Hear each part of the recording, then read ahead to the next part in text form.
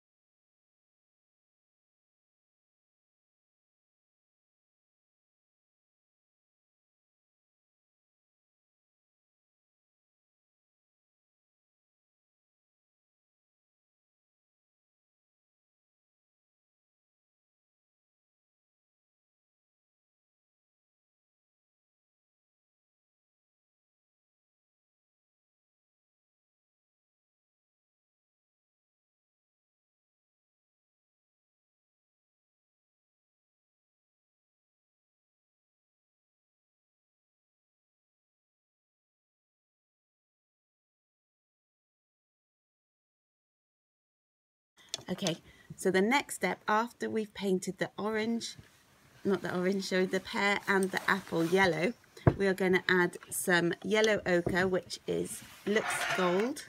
So then we're going to start to dab it on. So dabbing is going like this, like this. Okay, so it starts to make it look more natural. So we're going to dab it and also because there's lots and lots of different marks on the pears and on the apples, you can start to think about making it a little bit more orangey by adding an orangey red or you could mix your own colour. So then you can dab it on here.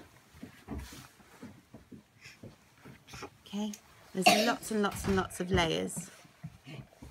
If you're doing the apple, you can start to add in a red colour or an orange colour and it goes from the top